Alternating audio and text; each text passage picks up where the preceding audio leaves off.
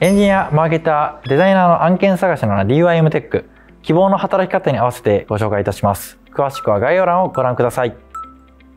現時点の年収よりも必ず高い求人情報が届く年収スカウト運営中無料なので概要欄から登録しましょうはい、ストックさん株式会社の川本です。僕はですね、ストックさんを創業してからひたすらフリーランスというドメインを元にですね、事業を展開してきましたが、その中でフリーランスは何が必要なのか全て知り尽くしたという自信があります。僕は今までですね、セミナーを何回か開いてます。実は創業初期の時に50人規模でセミナーを開いていたりとか、2年前にフリーランス向けにセミナーを開きまして、そこでは約1000人の方に来場いただいたりとか、そういった形でフリーランスのオフラインの場というところを何度か開催してきました。そしてですね、今回一番大事な発表としてはですね